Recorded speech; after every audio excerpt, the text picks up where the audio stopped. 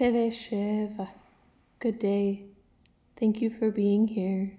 And if you're new to my channel, hi, Pearl Nahishive. Pearl is my name. And you're probably wondering why I'm sitting on the ground of a parking lot eating ramen. Well, I would be too. The story doesn't start here.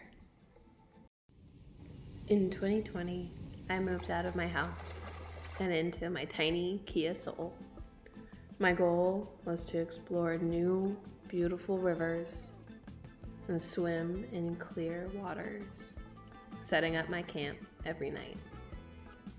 I took the next few months and drove across Turtle Island, stopping whenever I felt like it, whenever I felt full of purpose. And I made it to the East Coast. I made it to the Atlantic Ocean. There it is. I was concerned about what to do and moving back into a world where I didn't feel like I fit.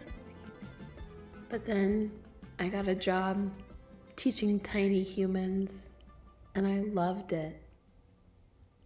I stayed in Endakna, the ancestral homelands of the Missisquoi Abenaki people, for two years. I struggled to find the feeling of connection that I was used to while living in a studio apartment. This leads me to where we are now. I'm putting land based learning through traditional knowledge back as my main priority. And as a result, I am moving back into my car after two years.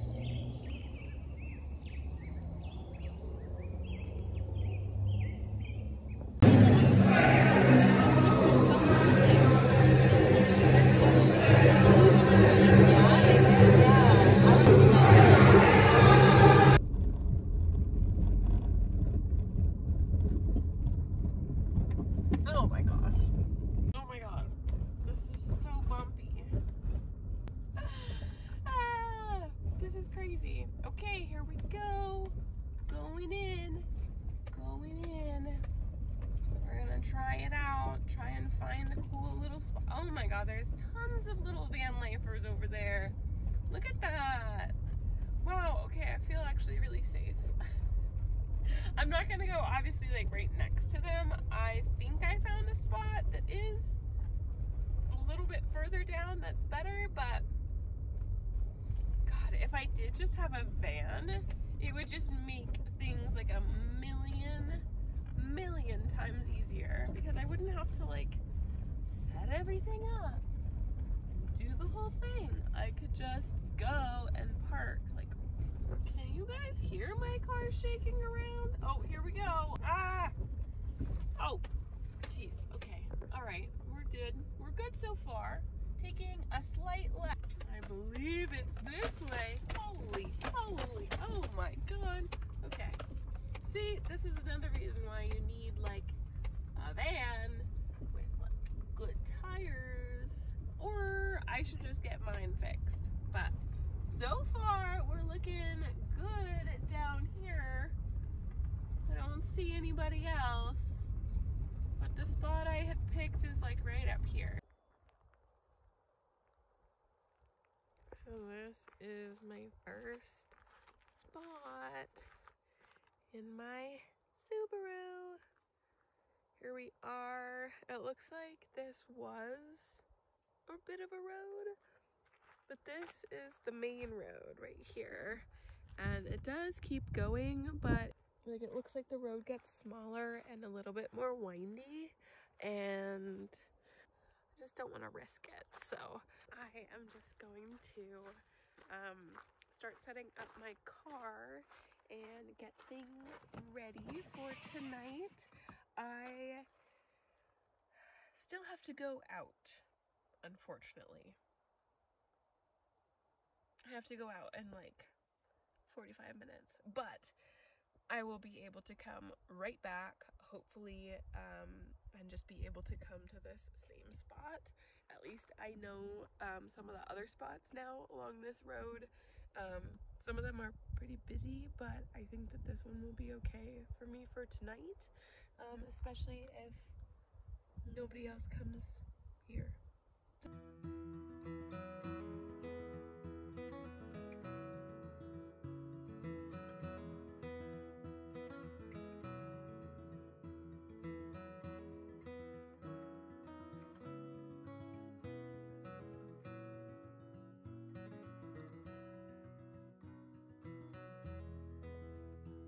Nuts. See, and now I have to pick these up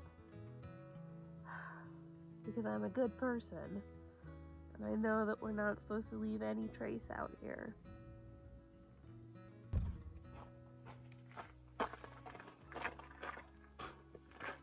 Okay, so the sun is going down and I don't have a lot of time to cook, but I'm gonna do something really quick and simple because I'm hungry.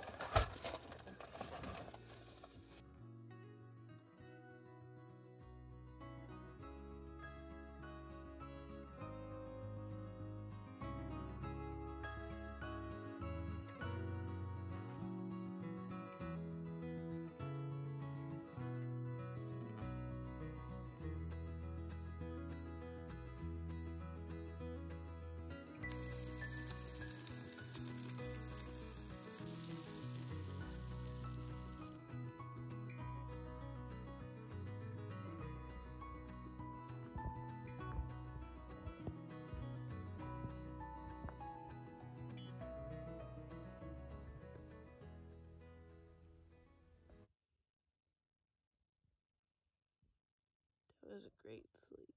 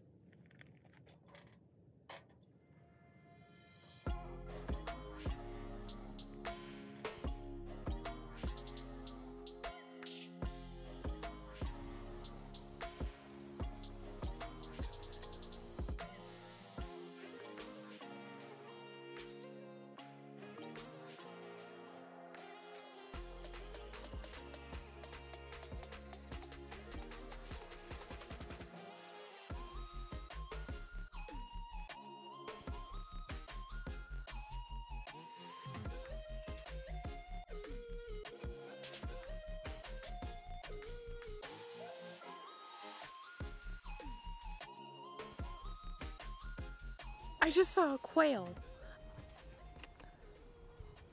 I just saw two of them running across the lawn or the grass, whatever. It's not my lawn. This feels like my lawn. This is kind of my house.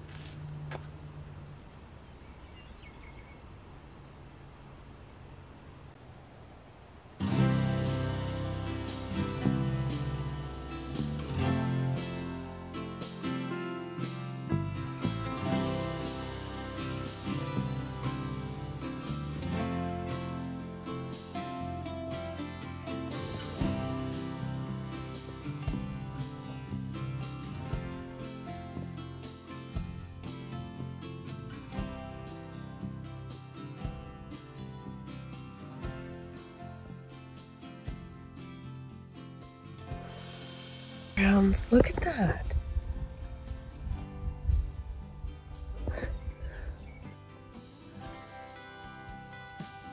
They're just scattered under the tree.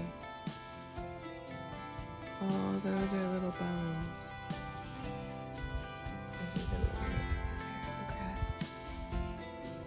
Wow.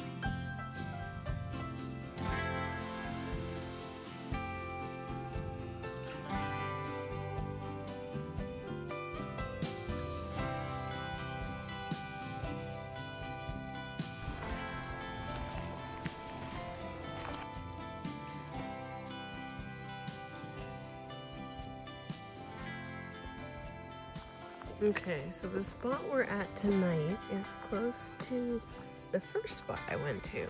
There's actually a little fire ring here, which tonight's the night. Um, it's supposed to be like 30 down to like 28, I think it said.